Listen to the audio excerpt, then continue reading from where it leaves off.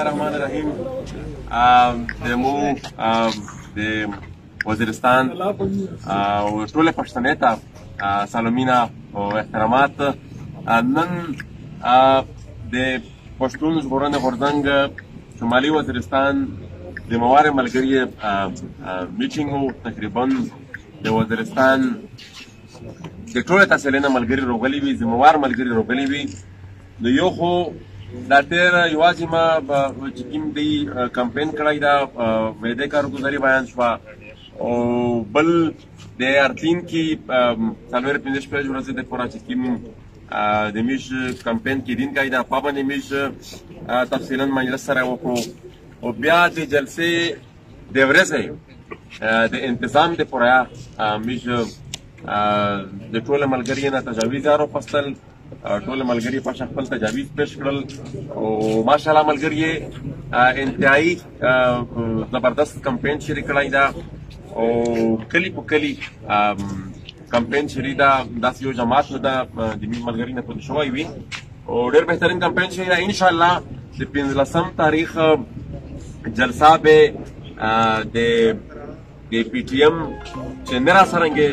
د تر شوی وخت کې مې بهترینه جلسه تر شوی د مرحوم شاه چې مې وا تاریخي جلسه وا دا به د هغه یو د تازه کوي او دا به ان شاء الله پاغه نه ډېره بهتره وي او ډېره غټه جلسه وي او ریاست ته به دا پیغام ورکوي چې دا کیم چې د کیم جبر په د خوره باندې د شریک کړای دا ار ورځ چې مش خبرې شي د یو کلینه کاسون چک کړی وي د بل کلینه کاسون چک کړی وي د کیم خلاف قانون خلاف عین عملیات چې د شریک کړی دي د خلاف په یور فرند میرا جلسه او یو شو کولاو پیغام به ټول دنیا ته او د پاکستان ریاست ته دا د دې جلسې په ذریعہ د وزیرستان په ولس ورکوي چې په دا خورا مش امن غوړي په دا خورا مش هیڅ قسمه بدامني نه غوړي او کتو بیا داس قسمه ارادي وي په د دین کې وخت پورا نو د سلو را دایره دی جوړ کړی په میجنه ته پېښ دی زه ټول پښتنه ته ور بیا بلنه درکوم چې دا د ټوله پښتنې جلسه ده او ټول پښتون د شپو غاڼه تعداد سره په دا جلسه شي شرکت وکړو 15 نومبر میروم شاه د شمالي وزیرستان د پښتون ژغورنې غورځنګ